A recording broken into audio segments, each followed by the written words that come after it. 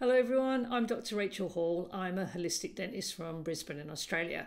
There's been a couple of things in the news recently, or some comments that have been made on some of the videos that I would like to address. And one of them is I've been told that hydroxyapatite has been banned in the EU. Well, firstly, that's not quite true. But if you don't know what hydroxyapatite is, then let me share that with you. It's an ingredient that is now used very commonly in natural toothpaste instead of fluoride because it's designed to help remineralize, that is, to reharden your tooth enamel and help prevent cavities. And there was a study that came out at the end of last year that said hydroxyapatite is as effective if not more effective than fluoride in your toothpaste, with none of the potential toxicity or side effects that fluoride may have. Now, you may have seen recently, particularly if you're in the US, that the EPA have been told that they've got to look at the levels of fluoride in the water because there's been a big court case there, but that's not what we're here to talk about today. So, is hydroxyapatite safe? Has it been banned in Europe? What is it? What's it used for? And what do you need to look out for? Hydroxyapatite is generally considered safe when it's used in oral care products. It's a naturally occurring mineral, it's found in your bones and your teeth, and it's used in toothpaste and other products, and it's seen as a beneficial alternative to fluoride, as I've mentioned. However, it's important to note that the particle size and shape does matter. Now, there's a product called nano hydroxyapatite, and yes, nanoparticles have been, you know, in the news a lot, and I can't actually talk about that. You all, you know, if you're switched on, you've heard of nanoparticles and you know where they are and what the concerns are. Well, in hydroxyapatite, we get a product called nano hydroxyapatite, and it has um, needle shaped forms, and this has raised some concerns about potential toxicity. But just like most things that are naturally occurring, or anything that we're ingesting or putting into our bodies, the concentration is key. So, the amount of hydroxyapatite used in products should be within the recommended limits to ensure safety. There may be individual sensitivity, and you know that's quite rare, um, but some individuals may go on to experience allergic reactions or uh, other sensitivities to it. It's a naturally occurring mineral. It's used in a lot of medical products. It's the major component of bones and teeth. It's used for medical implants, it's used in dental materials and in cosmetics.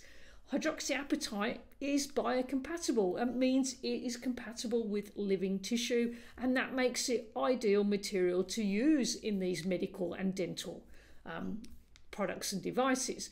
They use it in toothpaste, it's mouthwash, it's also in skin creams apparently.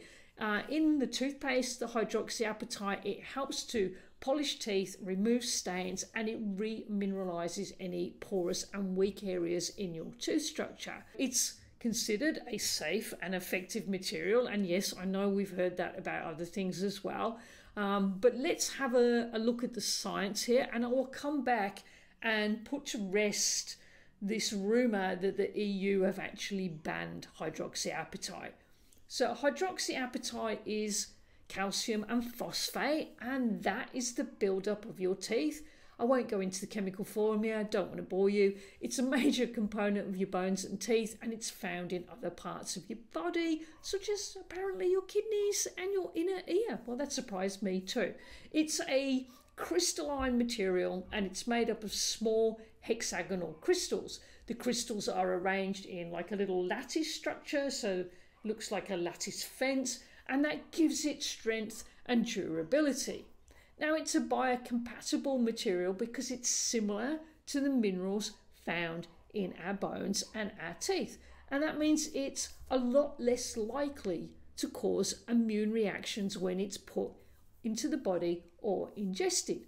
It hasn't been shown to cause any adverse health effects. Hydroxyapatite is biodegradable, so it's good for us and it's good for uh, the environment.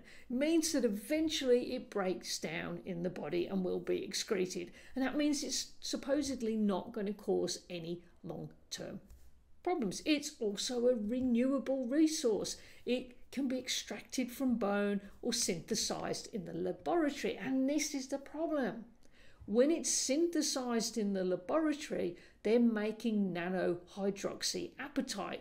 And it all comes down to particle size. So if that particle size is too small, this is where the concerns have arisen. But it's more about the manufacturing process and whether it can cause respiratory problems or contact allergies and so forth. So, has the European Union banned hydroxyapatite or not? Well, the answer is the European Union Scientific Committee on Consumer Safety, the SCCS, has issued a final opinion on the safety of hydroxyapatite, the nano, in cosmetics, and that includes toothpaste.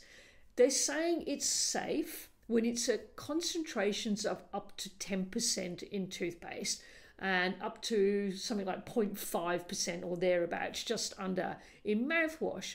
However, the SCCS has also stated that hydroxyapatite, the nano one, should not be used in products that may lead to exposure of the end user's lungs by inhalation.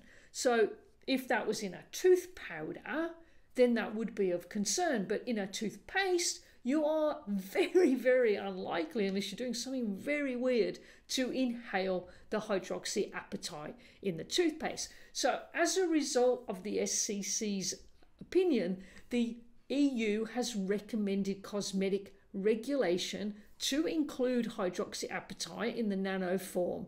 And that doesn't mean it's banned. The EU has recommended that any cosmetics that contain nanohydroxyapatite um, is listed and it is subject to certain restrictions. And those restrictions will come into force on February the 1st, 2025.